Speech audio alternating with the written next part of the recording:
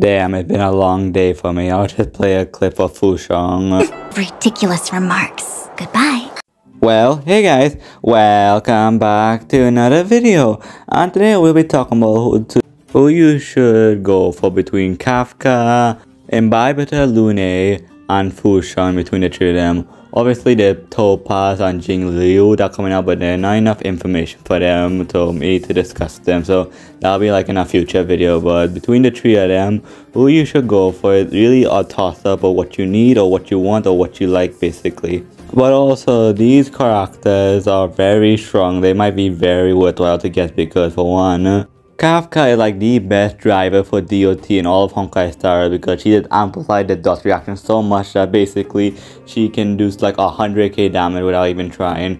And all you really need is a sample, any type of dot unit with break effect and really she'll wreak havoc. And Imbibitor Lunae is considered to be one of the strongest DPS in the game because for one of her restrictions of using 3 skill points so his damage will be very high. The only caveat to him is you need to find a way to play around his skill points, but realistically, if you can work around that, his damage will be ridiculous. And Fu Xuan is like one of the best um, units for sustain because for one, for what she offers and for the fact that we're not really guaranteed to get your part and Luocha gone. So if you didn't get Luocha, Fu Xuan really will shine because sustain is very valuable in the game. Fu Xuan is such a great option because she gives crit rate, she reduce damage, and increase your max HP. So basically, squishy unit that usually might get one shot in um, floor 10 by BS mechanics, they might live a hit because they're more tankier than usual. And honestly, Fu Xuan is just insane. So lead 3 units are just insane.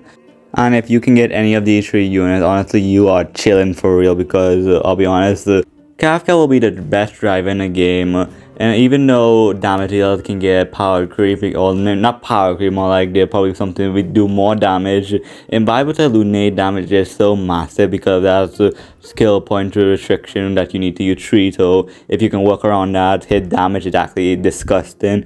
And as I said for Fu Xuan, like sustain is sustain. It's very valuable to have if you don't have uh, the water and you only have Natasha. So yeah. And if you're a free-to-play player, kind of will be kind of challenging to pick between them because realistically, you can either get two of them or just one of them because I'll be honest, even though you can probably guarantee yourself one 5-star per patch because you get a lot of gems for every new update, which is very nice.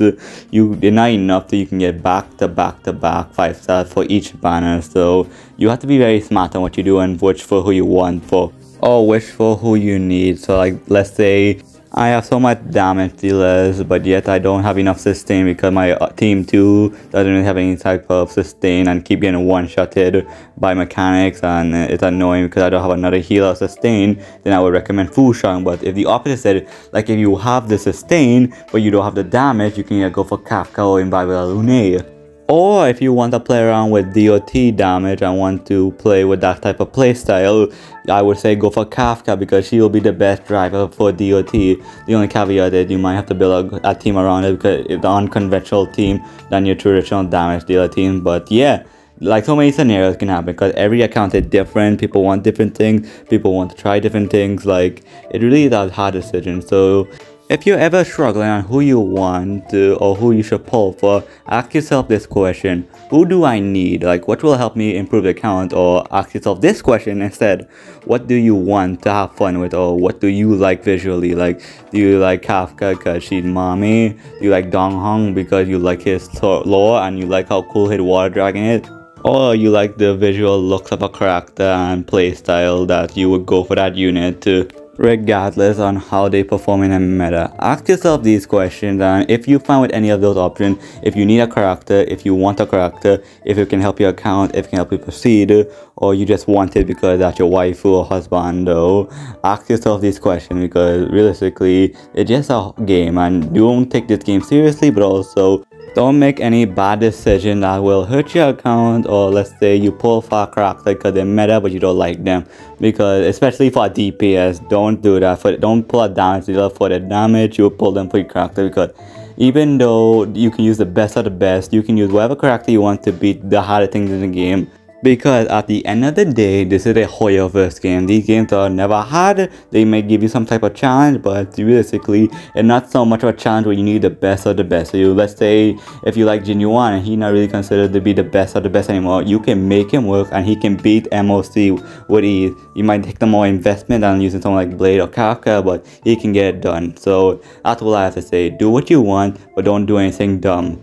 And with all that said, I think that's all for today's video. I said everything I wanted to say. So with all that said, thank you so much for watching this video. I do appreciate if you made it far. Let me know if you made it far and I'll hot your comment I appreciate the support. Let me know what I should do next and also let me know what you guys think what I have to say. You agree with me? Disagree? Let me know down below. Because at the end of the day, I'm not gonna kill you. Meh. Probably might kill you, so comment and we cut all this up. But anyway, final thoughts is have fun, do what you want, wish for you want, wish or wish for you need. don't regret your decision. And with all that said, take care, love you guys, and I'll see you on the next video. Goodbye.